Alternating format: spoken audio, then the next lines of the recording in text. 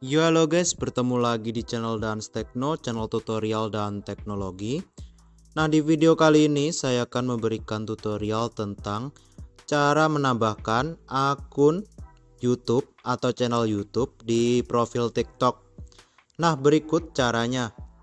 Nah langkah pertama adalah kita buka aplikasi TikTok. Kemudian kita pergi ke profil. Nah, di sini kalian tap edit profil. Nah, kemudian di sini kalian tap YouTube.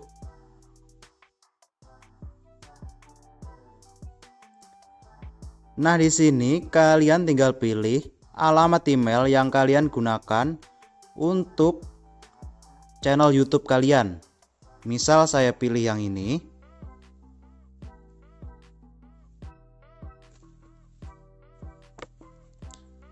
Kemudian jika muncul tampilan seperti ini, kalian pilih izinkan.